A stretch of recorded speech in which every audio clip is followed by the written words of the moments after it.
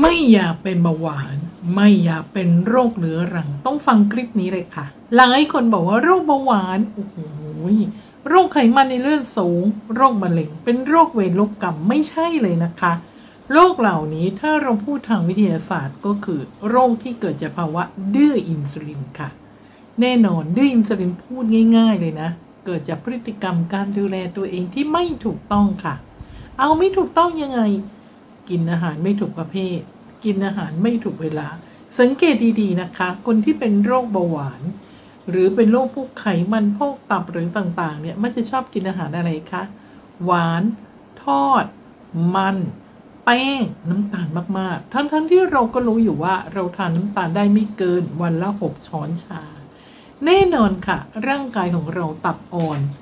หลังฮอร์โมนอินซูลินออกมาโอ้โหแต่เราเลิกกินทั้งวันกินจุ๊บกินจิ๊บ ไม่ได้กินเป็นมือๆสุดท้าย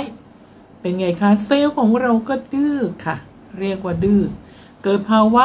ดื้ออินซูลินขึ้นมา นั่นแหละค่ะ เป็นสาเหตุของโรคที่ไม่ใช่แค่เบาหวานนะคะ 14 โรคตามมาเลย มะเร็ง ไขมันในเลือดสูง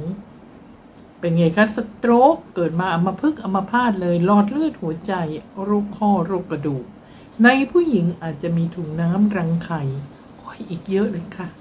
เพราะฉะนั้นพอรู้ต้นเหตุแล้วกลับมาดูแลตัวเอง ติดตามพี่ปรานะคะ